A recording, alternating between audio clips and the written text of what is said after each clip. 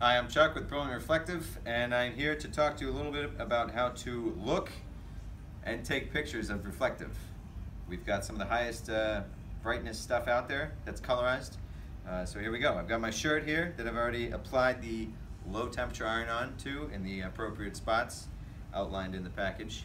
So what you want to do, you want to take your phone and you want to get your camera and uh, cool thing that I like to do first, you take a picture just like this without the flash. And if you look, look at that, very nice. Very nice.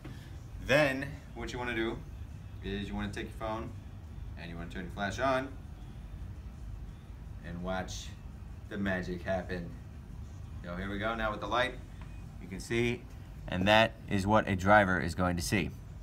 No matter what color you put on there, they all have the uh, same amount of reflectivity and they all uh, reflect back white.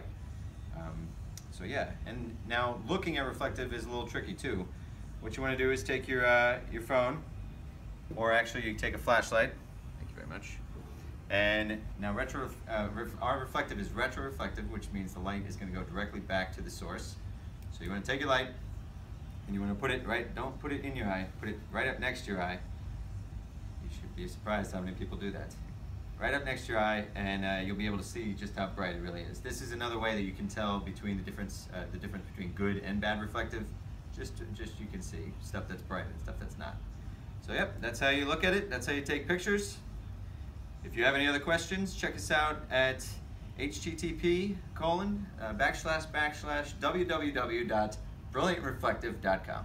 Thank you and talk to you soon.